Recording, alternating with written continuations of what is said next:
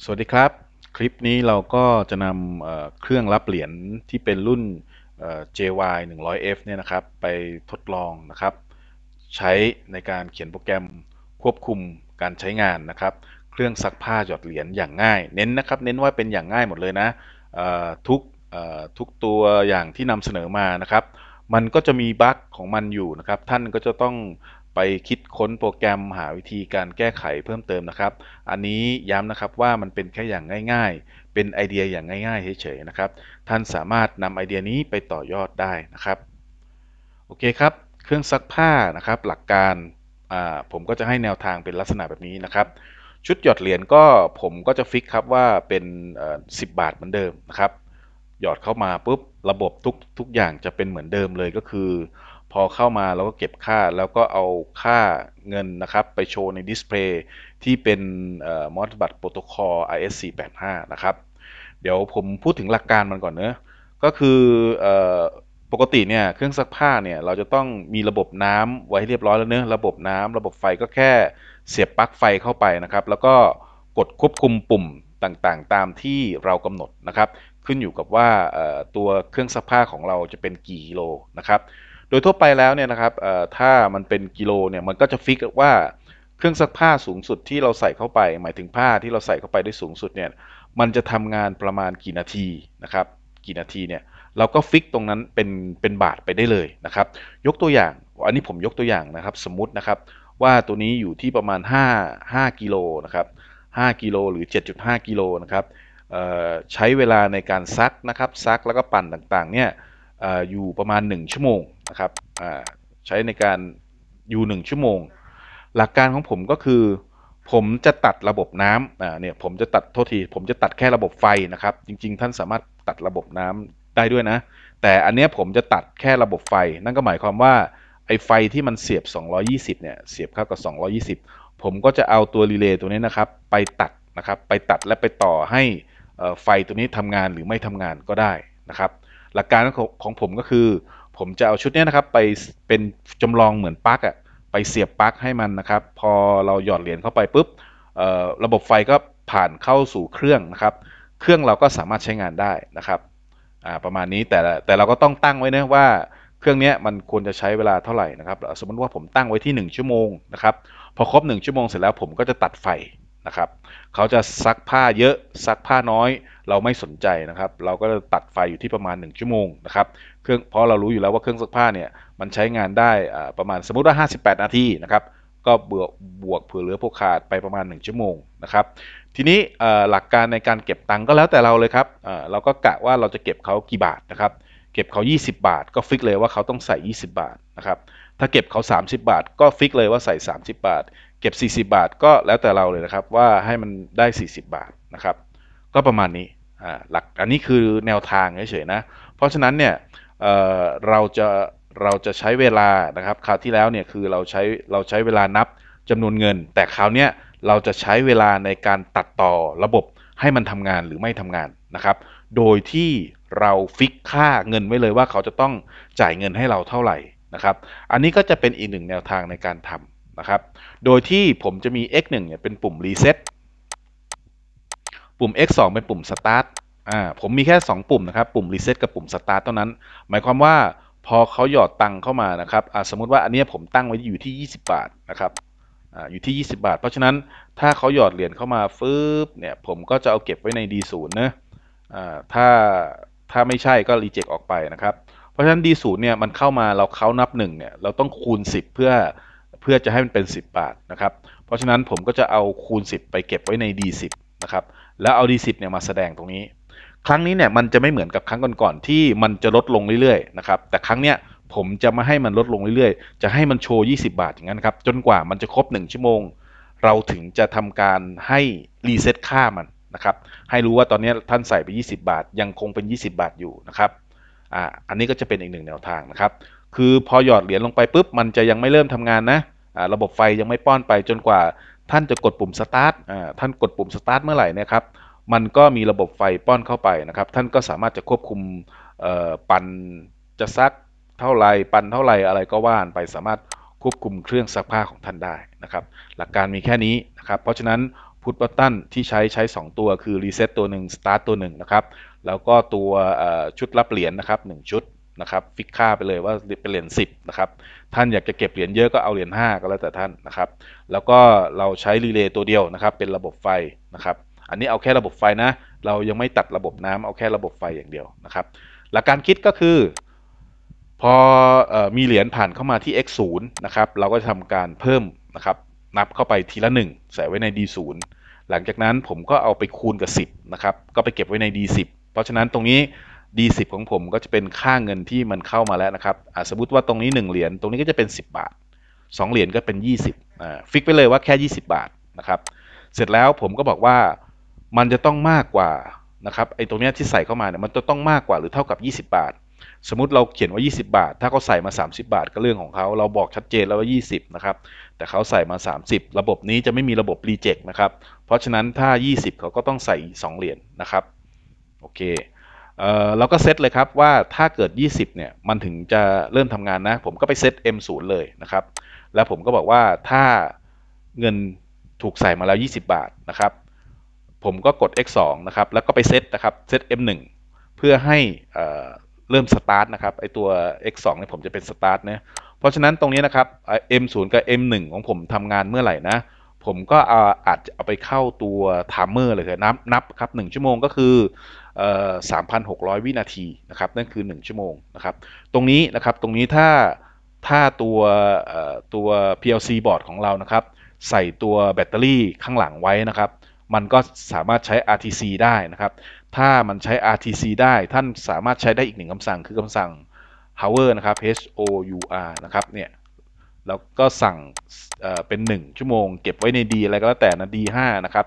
โดยให้โชว์ M10 อะไรก็ว่าไป เพราะฉะนั้น M10 on off เนี่ยเราสามารถที่จะควบคุมได้ ถ้าเป็นชั่วโมงนะท่านจะได้ไม่ต้องมานั่งนับเวลาให้มันเหนื่อยนะครับแต่ว่าจะต้องออรู้จักคำสั่งนี้นะรู้จักคำสั่งนี้ ซึ่งคำสั่งเนี้ยผมได้นำเสนอไปแล้วในคลิปก่อนๆหน้านี้ท่านก็สามารถเอาไปศึกษาได้นะครับ เพราะฉะนั้นอีกหนึ่งแนวทางคือถ้าไม่ใช้ timer ท่านก็ใช้คำสั่ง hour ได้เลยนะครับ hour มันก็จะสะดวกกว่านะครับ แต่ว่า ไอชุดนี้มันจะต้องมีแบตเตอรี่ที่เป็น RTC ใส่เข้าไปนะครับ ถ้าเราไม่มีแน่นอน ถ้าไม่มีเราก็ใช้คำสั่ง timer ธรรมดานะครับ ทีนี้เอ่อมันก็จะเป็นประเด็นอีกว่าเอ๊ะจะใช้ timer ธรรมดา หรือจะใช้ timer แบบจำค่าได้ อันนี้ก็แล้วแต่ไอเดียของเราเลยนะครับ อันนี้ผมสมมติว่าผมก็เป็นทำ timer แบบธรรมดาแหละนะครับ timer แบบธรรมดาเมื่อ ไฟตกไฟดับปุ๊บมันก็จำค่าไม่ได้นะครับ มันก็จะเริ่มสตาร์ทใหม่นะครับสตาร์ทใหม่ก็จะเป็นผลดีกับผู้ใช้บริการไปนะครับ เวลาเราเปิดขึ้นมามันก็จะคงเริ่มเวลามันก็จะเริ่มนับใหม่อีกครั้งหนึ่งนะครับโอเค ตรงนี้ผมทำงี้ครับ ถ้าผมตั้งไว้ 1 ชั่วโมงนะครับ แล้วผมก็บอกว่า delay onออนดีเลย์นะก็คือหมายความว่ามันจะต้องมันจะต้องหน่วงเวลาก่อนมันถึงจะออน เพราะฉะนั้นผมก็จะใช้ NC นะ NC ของมันมาทำให้ Y ศูนย์ของผมทำงาน อ่านั่นก็หมายความว่าถ้าถ้าตังครบแล้ว 20 บาท แล้วผมกดสตาร์ทแล้วนะครับ มันก็จะมีกระแสไฟไหลผ่านมาตรงนี้ ฟืดฟืดส่งผลให้ Y ศูนย์ผมทำงานพอ Y ศูนย์ผมทำงานปุ๊บ มันก็ป้อนระบบไฟเข้าไปที่เครื่องซักผ้านะครับ เครื่องซักผ้าผมก็ control ได้ตามปกติเลยนะครับ อ่า โอเค ทีนี้ระบบ reset ทำยังไง ผมก็กด X1 นะครับทำการ reset เครื่องหมดเลย ก็คือรีเซ็ตดีทั้งหมดเลยที่มันมีดีนะครับ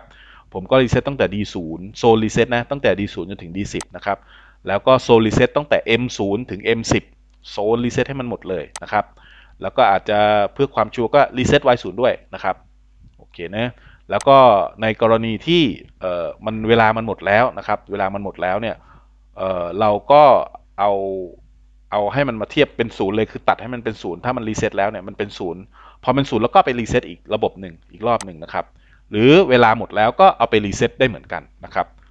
อันนี้ก็ขึ้นอยู่กับแนวทางของเรา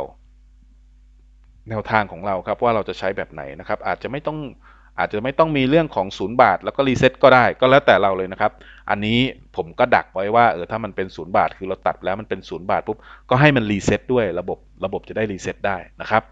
ก็ประมาณนี้นะครับในเรื่องของไอเดียในการทำเเครื่องซักผ้าหยอดเหรียญนนะครับ อันนี้อย่างง่ายนะเน้นเน้นย้ำว่าอย่างง่าย ท่านสามารถเอาไปประยุกต์ใช้อย่างอื่นก็ได้นะครับโอเค ทีนี้ขั้นตอนถัดไปก็คือการโชว์ตัวเลขนะครับ โชว์ตัวเลขก็เหมือนกับ EP ก่อนๆเลยนะครับ ก็คือเราเอาเข้าระบบ ISC85 นะครับ เป็น Modbus Protocol นะครับ ผ่านพอร์ต RS485 นะครับ แล้วผมก็ทำการเซ็น d request นะครับ เซ็น d request ไปนะครับ โดยที่ โชว์ D10 นะครับ ให้โชว์ D10 มันก็จะโชว์มันตลอด โชว์ทุกๆอะไรครับ ทุก ๆ อาจจะเป็น 0.1 วินาทีนะครับ 10 millisec หรือ 100 millisecก็แล้วแต่เรานะครับ ว่าเราต้องการเซตค่าเป็นแบบไหนอ่าแค่นั้นเองแค่นี้เองนะครับ ก็ประมาณนี้นะครับกระบวนการทั้งหมดในการทำเครื่องซักผ้าหยอดเหรียญนนะครับ ก็อันนี้อย่างง่ายนะเน้นย้ำอีกหลายรอบเลยว่าว่าอย่างง่ายนะครับ ท่านก็สามารถเอาไปประยุกต์ใช้อย่างอื่นได้อีกเยอะแยะมากมายไก่กองเลยนะ ก็คือสามารถเอาไปเนื่องจากว่าตรงนี้เป็นระบบตัดต่อ ระบบไฟฟ้าเนื้อท่านก็อาจจะทำเป็นเครื่องใช้ไฟฟ้าหยอดเหรียญอะไรของท่านก็ได้นะครับ แล้วแต่เลยแล้วแต่ไอเดียของท่านเลยนะครับ เพราะฉะนั้นเดี๋ยวเราจะลองไปเขียนโปรแกรมและลองซิมูเลชันกันดูนะครับ ว่ามันสามารถใช้งานได้หรือเปล่า หลังจากที่เราเปิดโปรแกรม GXWorks 2ขึ้นมาแล้วนะครับ แล้วก็เซตให้เป็น FX3U นะครับเราก็เขียนโปรแกรมนะครับ อันนี้ผมก็เขียนโปรแกรมตามที่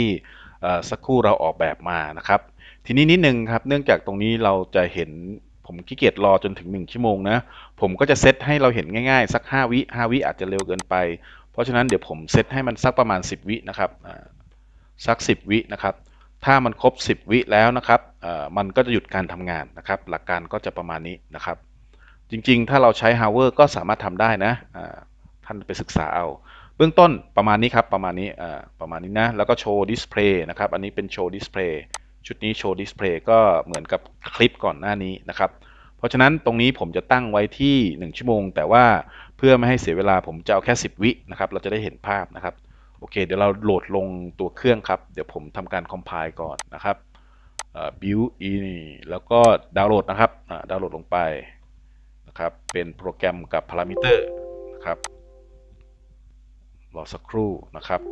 โอเคเรียบร้อย ทีนี้เราดาวน์โหลดเรียบร้อยแล้วนะครับ เดี๋ยวผมจะทำการมอนิเตอร์ริงนะครับให้ท่านเห็นเห็นเห็นทั้งภาพทั้งหมดนะครับโอเคระหว่างมอนิเตอร์ริงเดี๋ยวเราดูตรงนี้อ่าชุดนี้ก็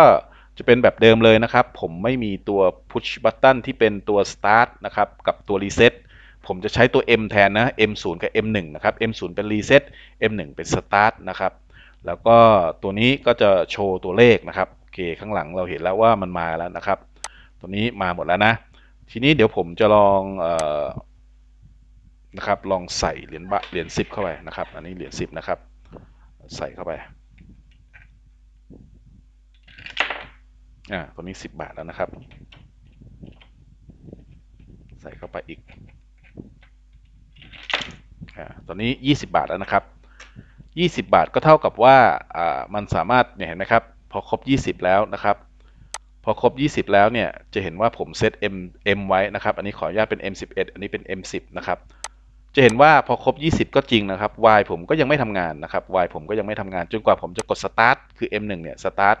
พอสตาร์ทปุ๊บมันถึงจะเริ่มทำงานนะครับ เราก็สามารถที่จะไปเซตค่านู่นนี่นั่นได้นะครับ แต่เราจะต้องกดสตาร์ทก่อนเพื่อให้ไฟเข้าสู่ระบบนะครับ เพราะฉะนั้นเดี๋ยวผมจะกดสตาร์ทเพื่อให้ไฟเข้าสู่ระบบครับ10 วิมันจะไวอยู่นะผมกดสตาร์ทแล้วก็ stop เลยนะครับ ตอนนี้ Y ผมทำงานแล้วนะสังเกตตรงนี้ Y ทำงานแล้วนะครับ เดี๋ยวเรารอ 10 วินาทีนะครับ อันนี้ 6 วิ 7 วิ 8 วิ 9 วิ พอครบ 10 วิปุ๊บนั่นนะครับ หมายถึงว่าหมดแล้วนะครับ ก็เครื่องซักผ้าก็เสร็จกระบวนการนะครับ ก็เอาออกไปนะครับเอาออกไปปุ๊บท่านก็สามารถทำใหม่ได้ เพราะว่ามันรีเซ็ตระบบใหม่หมดเรียบร้อยแล้วก็ใส่อีกนะครับ คนถัดไปเข้ามาอีกก็ใส่ครับ 20อ่าโทษที10